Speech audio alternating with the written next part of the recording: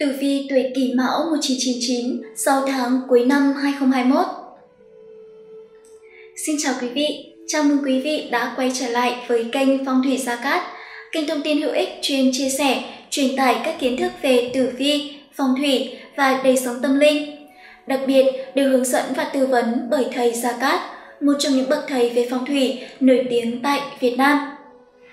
Quý vị thân mến, tuổi Kỷ Mão thuộc mệnh Thổ, làm gì cũng cẩn thận, cân nhắc kỹ lưỡng, không bao giờ tùy tiện nóng vội đưa ra quyết định của mình.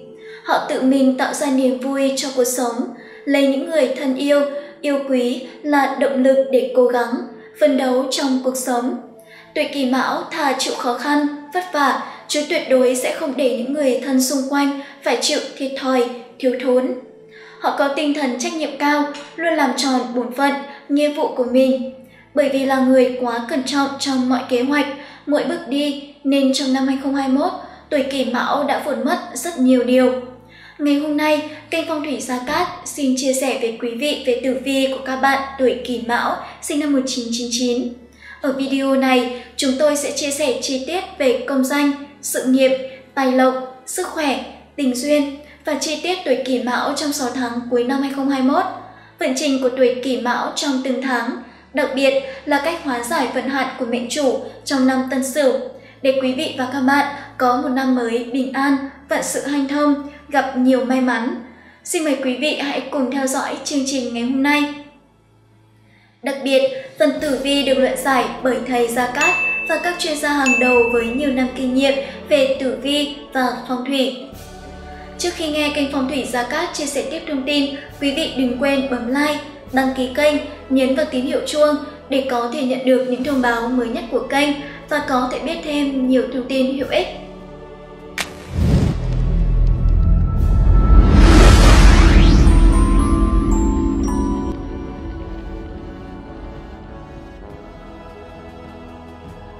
Sau đây sẽ là phần tổng quan tử vi của các bạn tuổi Kỷ Mão sinh năm 1999 trong 6 tháng cuối năm Tân Sửu. Tử vi nửa cuối năm 2021 cho thấy thời gian này mọi thứ đều yên bình đối với các bạn tuổi Kỷ Mão. Mọi việc về cơ bản vẫn duy trì ổn định. Thời khắc này, các bạn có thể bước sang một ngưỡng mới của cuộc đời, đó là tốt nghiệp đại học và bắt đầu tìm việc làm. Các bạn không nên lo lắng thái quá mà hành động hấp tấp. Hãy bước những bước chậm mà chắc, bởi chặng đường tương lai của các bạn vẫn còn rất dài. Ngoài ra, tại thời điểm này, nhân duyên của các bạn khá tốt, nhưng quý nhân vận không vượng. Thành hay bại vẫn chủ yếu dựa vào sức mình, khó trông chờ người khác giúp đỡ. Đặc biệt trong thời điểm này, các bạn hãy mang theo bên mình pháp khí hộ thân, kim bài thái tuế để nghênh đón quý nhân, hóa giải mọi hung tinh, vận hạn trong năm và từ đó mang lại may mắn, bình an cho chính mình. Quý vị thân mến, phần tiếp theo của chương trình, kênh Phong thủy Gia Cát xin chia sẻ chi tiết vận trình của các bạn tuổi Kỷ Mão trong 6 tháng cuối năm 2021 qua từng phương diện cụ thể của cuộc sống. Thứ nhất, về sự nghiệp và quan vận. Xem tử vi của các bạn tuổi Kỷ Mão trong nửa cuối năm 2021 cho thấy rằng việc học hành của các bạn tiến triển thuận lợi. Các bạn có thể hoàn thành được mục tiêu đã đặt ra và bước sang trang mới của cuộc đời. Vì vẫn còn trẻ, chưa va chạm nhiều nên các bạn có nhiều điều cần phải học hỏi. Tốt nhất hãy giữ thái độ khiêm tốn lắng nghe, tránh tình trạng ngựa non hào đá, chống đối người có vị trí cao hơn. Hơn thế nữa, thời điểm này, các bạn còn có một vài cơ hội để thể hiện bản thân, gây ấn tượng với cấp trên. Vì thế, hãy mạnh dạn bày tỏ ý kiến, quan điểm của mình.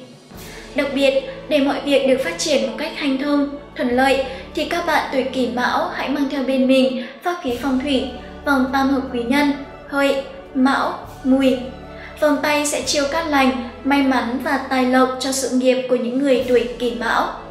Đồng thời, vòng sẽ chiêu mời quý nhân che chở, giúp đỡ công việc và con đường học tập của các bạn được hành thông, thuận lợi và phát triển hơn trong năm 2021. Thứ hai, về mặt tài lộc và tiền bạc. Tình hình tài chính trong nửa cuối năm 2021 nhìn chung bình ổn. Các bạn tuổi kỷ mão có thể kiếm được những đồng lương đầu tiên nên đây có thể coi là một dấu hiệu đáng mừng. Bên cạnh đó, các bạn cũng có thể nhận được sự hỗ trợ của cha mẹ, người thân nên cuộc sống nói chung là ổn định. Tuy nhiên, các bạn tuổi kỷ mão nên học cách chi tiêu tiết kiệm và có kế hoạch rõ ràng, tránh dùng tiền phung phí cho những mục đích không thực sự chính đáng. Đặc biệt trong thời điểm này, các bạn hãy mang theo bên mình pháp khí phong thủy, minh quang pháp bảo. Vật phẩm sẽ giúp bạn khai thông trí tuệ, mang lại sự minh mẫn, sáng suốt trong mọi việc. Từ đó sẽ giúp cho công việc hành thông, thuận lợi, thu hút tài lộc, may mắn, bình an. Đặc biệt, vật phẩm được hội tụ bởi những tinh hoa của Đức Phật cùng những tinh túy linh thiêng của đất trời, chứa nguồn năng lượng xua tan được tà ma, tăng cường cách khí. Thứ ba về mặt tình cảm và gia đạo. Trong điều cuối năm 2021, mối quan hệ xã giao của các bạn sinh năm 1999 mở rộng hơn hẳn so với khoảng thời gian trước đó. Không chỉ có các mối quan hệ bạn bè mà còn có cả quan hệ đồng nghiệp, cấp trên và cấp dưới. Cho nên các bạn cần chú ý cách cư xử để gây ấn tượng tốt với mọi người xung quanh. Tuy nhiên, chuyện tình cảm của các bạn lại không có nhiều biến động trong thời gian này. Các bạn nên cởi mở hơn trong giao tiếp để kết giao với bạn bè khác giới. Tuy nhiên, các bạn tuổi kỷ mão nên cẩn thận đưa ra lựa chọn đến với ai đó. Ngoài ra, để có thể kích hoạt tình duyên, thầy phong thủy khuyên các bạn tuổi kỷ mão hãy mang theo bên mình pháp khí, phong thủy, tam hợp quý nhân, hơi mão, mùi.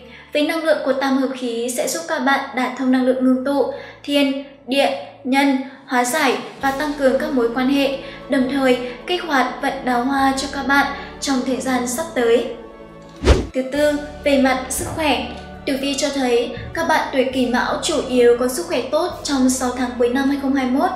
Có điều, các bạn cần giữ tinh thần lạc quan, hăng hái, tích cực khi đối diện với mọi vấn đề trong cuộc sống, gặp khó khăn cũng không nên chán nản, thất vọng và suy nghĩ quá nhiều gây ảnh hưởng không tốt đến tinh thần. Đặc biệt là nam mệnh, do các bạn còn trẻ tuổi nên dễ nóng nảy, các bạn chú ý tránh xô sát với người khác, nếu không sẽ dễ bị thương ngoài ý muốn.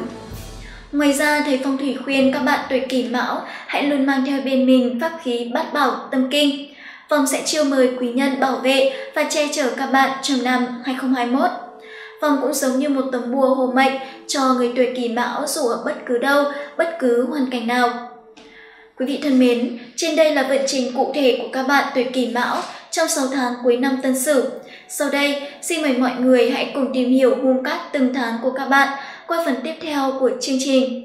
Thứ nhất, tử vi tháng 7 âm lịch. Tháng 7 âm lịch, các bạn tuổi kỷ mão không phải gặp vấn đề gì quá lớn trong công việc cũng như trong cuộc sống. Chất lượng công việc dần dần được cải thiện, các bạn đã giải quyết các nhiệm vụ quen tay nên không còn nhiều khó khăn, khúc mắc như trước. Chuyện kiếm tiền cũng khá thuận lợi bởi các bạn quen thêm được nhiều đối tác, bạn hàng mới.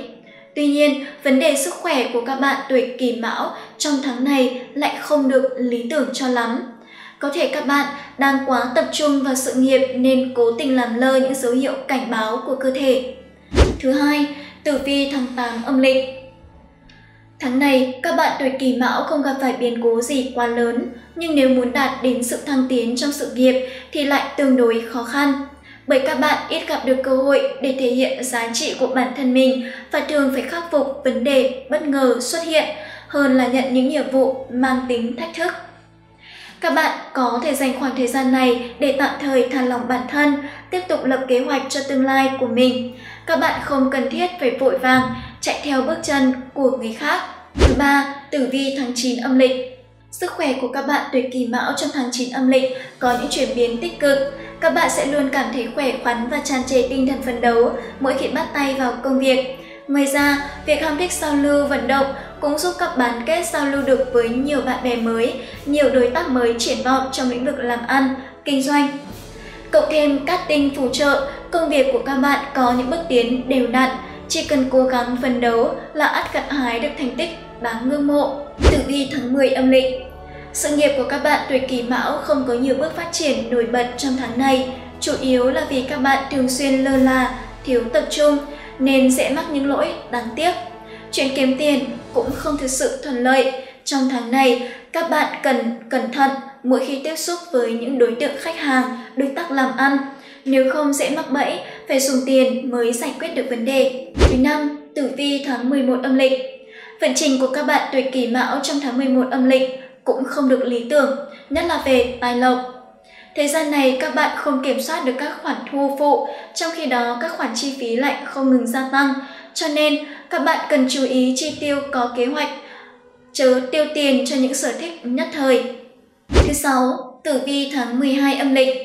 Tháng chạp, vận thế của các bạn tuổi kỷ dậu có dấu hiệu đi lên mà dễ thấy nhất là phương diện.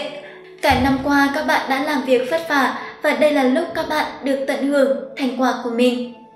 Thời gian này, một số các bạn trong lĩnh vực làm ăn, kinh doanh cũng có cơ hội mở rộng sản xuất hoặc buôn bán, kiếm lãi gấp bội vào thời điểm cuối năm này. Kiếm lãi gấp bội vào thời điểm cuối năm này.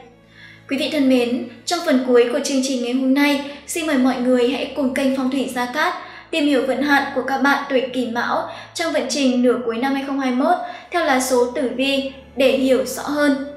Thứ nhất là sao hạn các bạn tuổi Kỷ Mão. Các bạn nam tuổi Kỷ Mão may mắn trong 6 tháng cuối năm được sao Thái Dương chiếu mệnh. Thái Dương được coi là phúc tinh, rất tốt cho học hành hay công việc của các bạn nam tuổi Kỷ Mão sau này ví như ánh mặt trời, mang lại sự tốt lành, phát triển về công danh, an khang thịnh vượng. Hơn nữa khi được các tinh này chiếu mạng thì làm ăn được phát đạt, thăng quan, tiến chức, gặp may mắn trong việc buôn bán. Tuy nhiên, các bạn nam cần đề phòng tai nạn toàn tận trong thời gian này. Bởi hạn này chủ yếu về hao tài, tốn của, đau ốm, bệnh tật. Ra ngoài thì cẩn thận tai nạn xe cộ nguy hiểm tới tính mạng hay vì tiền mà bỏ cả mạng. Còn đối với các bạn nữ tuổi kỷ mão lại kém may mắn hơn khi bị hung tinh thổ tú chiếu mệnh.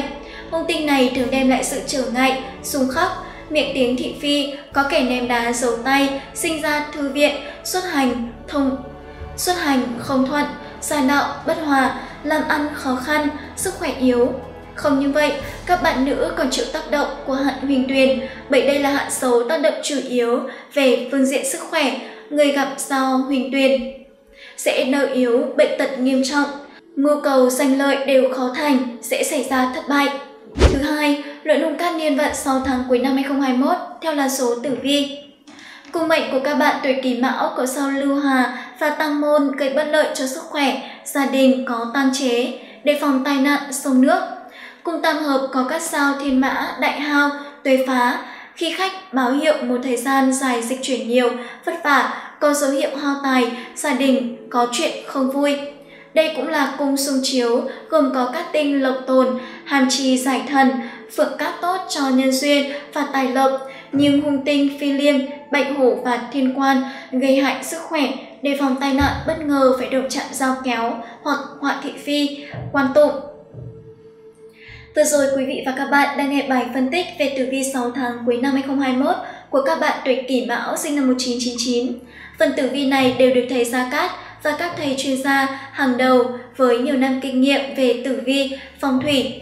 Để cập nhật được nhiều hơn về thông tin tuổi của mình trong năm 2021 và những năm tiếp theo về sức khỏe, gia đạo, công danh sự nghiệp, con cái, quý vị hãy đăng ký kênh để cập nhật những kiến thức mới nhất về vận trình của mình. Cảm ơn quý vị và các bạn đã luôn quan tâm, theo dõi và ủng hộ chương trình trong suốt thời gian qua. Kênh Phong thủy Gia Cát rất vui lòng được phục vụ quý vị và các bạn.